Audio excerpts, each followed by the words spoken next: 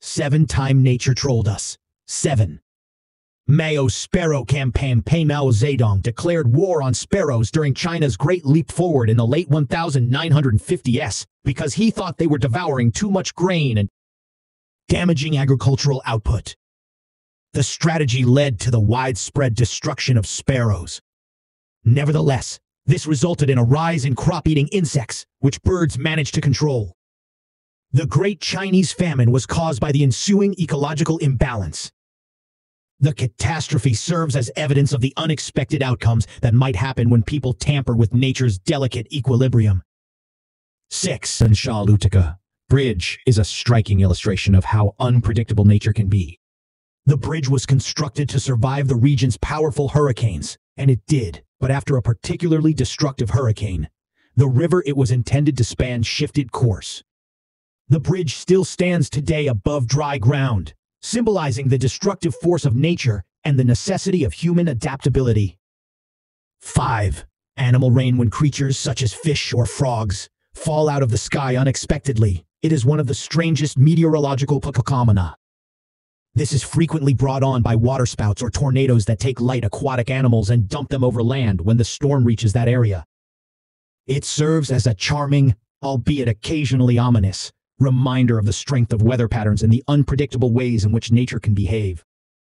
4. The Dancing Plague of 1518. This is one of nature's strange ways and history's most enigmatic instances. People in Strasbourg, Alsace, now in France, started dancing for no apparent cause and kept doing so for days. Some even passed away from exhaustion.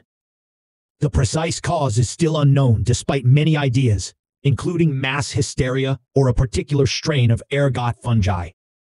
It serves as a chilling reminder of how nature can influence us in ways that are beyond our comprehension. 3.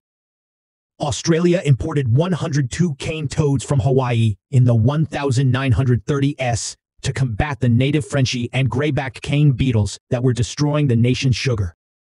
Cane harvests. Unfortunately, this choice backfired the toads shifted to eating practically everything else they could fit in their mouths because they couldn't scale the sugarcane plants to get to the insects.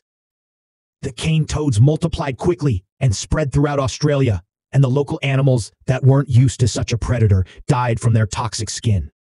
2. Blooming deserts Although nature often disproves our perceptions, deserts are not always thought of as lifeless and barren.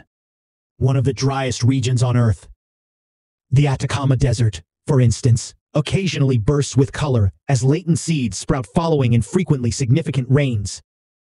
It's a stunning display that highlights nature's capacity for adaptation and survival under many circumstances. 1. The Emu War Thousands of emus moved into the Campion region of Western Australia in 1932, destroying crops and making life much harder for local farmers. In response to farmer requests, the Australian government sent out soldiers equipped with machine guns in an effort to reduce the emu population. The emus, however, proved to be remarkably tough and difficult to strike, and the military suffered humiliation as a result of the war's conclusion.